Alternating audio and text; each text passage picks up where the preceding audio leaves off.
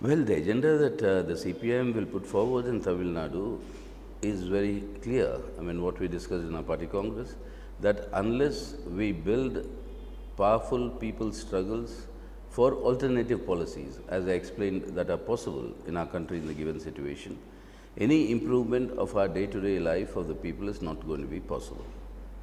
The CPM's alternative is, yes, within the state of Tamil Nadu, this is the resource base we have, how these resources should be utilized. What is the Chief Minister doing currently? Giving you populist sops. 2000 crores of rupees worth of populist measures were undertaken as soon as she returned as the Chief Minister. Now, populism and populist sops may provide temporary relief, but finally, the entire wealth that is produced in the state of Tamil Nadu is not equitably shared amongst its people.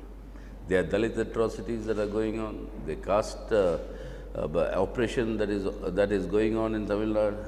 You have the, the cases where honor killings have been reported to be increasing in the state.